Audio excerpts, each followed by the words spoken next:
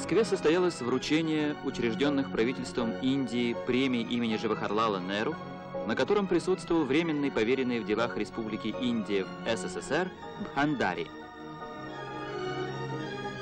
Дипломы вручала министр культуры СССР Фурцева. Среди награжденных народный художник СССР Вучетич, создавший скульптурные портреты видных индийских деятелей, директор Института народов Азии Академии наук СССР Гафуров, научный сотрудник Института этнографии Гусева, автор пьесы Рамаяна по мотивам древнеиндийского эпоса, народный художник СССР Нелбандян, создавший цикл картин на индийские темы. Присуждение премии имени Джавахарлала Неру – еще одно свидетельство крепнущих связей между Индией и Советским Союзом.